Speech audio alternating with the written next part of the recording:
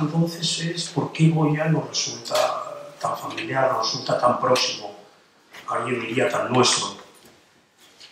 Bien, en algunos casos, algunas de sus obras pueden resultarnos familiares por razones eh, diferentes.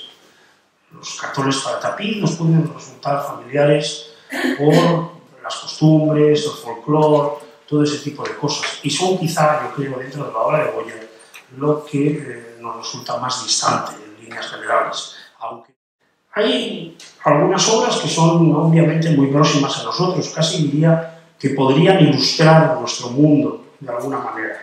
Me refiero concretamente a los desastres de la guerra.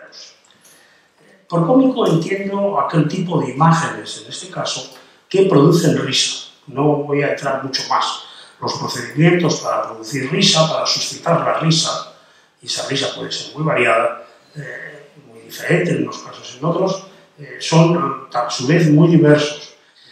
La sátira eh, critica en un sentido positivo o negativo, también hay una sátira positiva, critica aquello o aquellos personajes, lugares, acciones, acontecimientos que son objeto de su mm, tratamiento, de su presentación o de su representación.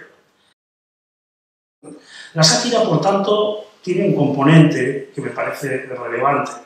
Ese componente es la existencia de una posibilidad de reformar, la existencia, la afirmación de que esos lugares, personas, eh, acciones, etcétera, si se atuvieran a la norma, ya no tendrían que ser objeto de sátira, no tendrían que eh, cambiar, digámoslo así.